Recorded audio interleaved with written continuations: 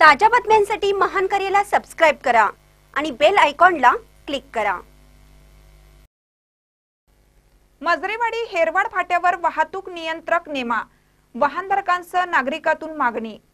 कुरुंदवाड येथील मजरेवाडी हेरवाड फाट्यावर वाहतूक नियंत्रक पोलिसाची नेमणूक करावी अशी मागणी वाहनधारकांसह नागरिकांमधून केली जात आहे. येथील मजरेवाडी व हेरवाड फाट्यावर वाहनांची मोठ्या प्रमाणात वर्दळ वाढली असून वाहतुकीची कोंडीही मोठ्या प्रमाणात होत आहे. मजरेवाडी हेरवाड दत्तवाड तेरवाड या ठिकाणी जाण्यासाठी अनेक प्रवासी या ठिकाणी थांबलेले असतात. तर या चौकातून मिरज सांगली जयसिंगपूर शिरोळ व कर्नाटकातून अवजड वाहनांची वर्दळ असल्याने नेहमीच येथे वाहतुकीची कोंडी होते.